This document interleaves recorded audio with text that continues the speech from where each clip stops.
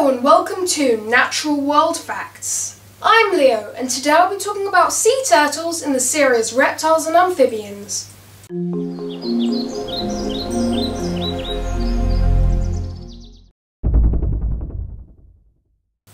Brief overview. Turtles are among the world's oldest groups of reptilians, having evolved millions of years ago. They can be found all over the world and inhabit almost every type of climate. There are seven different species of sea turtle, all of which vary in size and shape. The largest marine turtle is the leatherback. It can grow up to 7 feet, which is 2 meters long, and can weigh up to 2,000 pounds, which is 900 kilograms. The average lifespans of sea turtles can vary from 30 to 100 years old, depending on the species. Appearance The appearance of marine turtles varies between species. The green sea turtle has a wide, smooth carapace, which is brown to olive in colour. They're named after the greenish colour of their skin.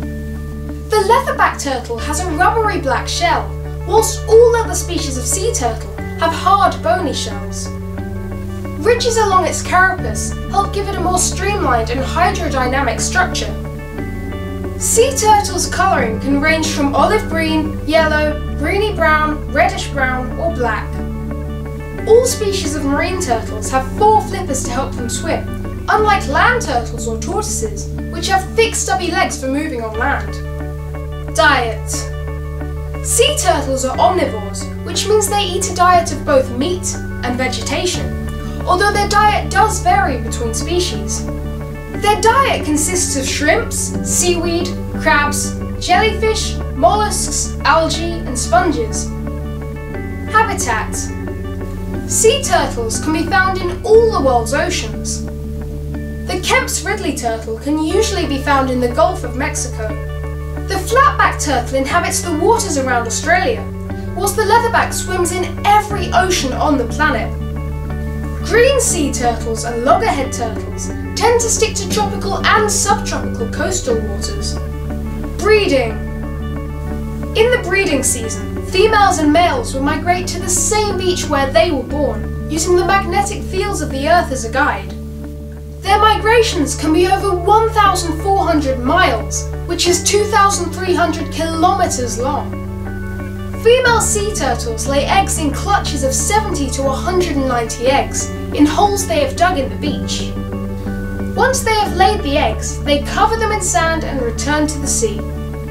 Once the eggs hatch, the babies will dig their way out of their hole. When free, the juveniles will hurry to the safety of the sea to avoid being cooked by the sun or eaten by predators. Status the Kemp's Ridley sea turtle is listed as critically endangered on the IUCN Red List of Threatened Species, and the leatherback turtle is listed as vulnerable. Some of the biggest threats to sea turtles include oil spills, habitat loss, accidental catching, and even poaching. Thank you for watching Natural World Facts. See you next time. And also a huge thank you to all of you guys who have finally helped me to reach 200 subscribers. Thank you so much.